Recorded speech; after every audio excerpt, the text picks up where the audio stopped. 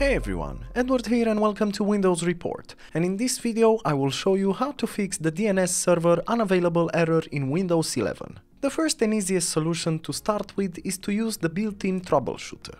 Click the Windows button, then select the settings icon, then in the following window make sure to select System from the left pane. Afterwards on the right pane scroll down until you find and select Troubleshoot. In the next slide, make sure to click on Other Troubleshooters and in here start by running the Internet Connections Troubleshooter. Just wait for the process to complete and if the problem still persists, you can also run the Network Adapter Troubleshooter and as well the Incoming Connection Troubleshooter. Another useful solution is using the command line. Right-click the Windows button and select the Windows Terminal option as administrator. Then in the terminal window simply type the following commands pressing enter after each one.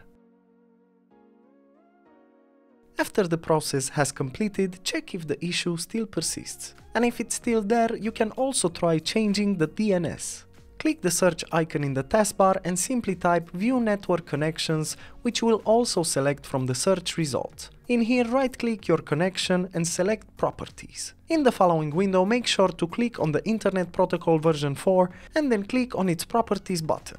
Now select the Use the following DNS server addresses option and then set the following on preferred DNS server, type in 8888 each after one dot. And on alternate DNS server, type 8844 again each after one dot. Lastly, click OK to save changes. Alternatively, you can also select Internet Protocol version 6 to change the DNS server like in the previous steps.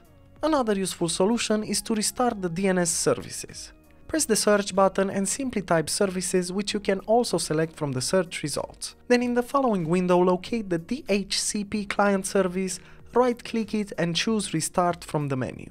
Similarly, you can also right-click the DNS client service and choose restart if available. Otherwise, just try refreshing it. But if the issue still goes on, you can also disable the proxy press the search button and simply type Internet Properties and then select Internet Options from the search results. In here, navigate to the Connections tab and click on LAN Settings. Make sure to uncheck Use a proxy server for your LAN and click OK. Lastly, another useful solution could be disabling your antivirus temporarily. Just locate your antivirus icon in the system tray, right-click it and choose the option to turn off or disable the real-time protection and once the antivirus is disabled, check if the issue is still there.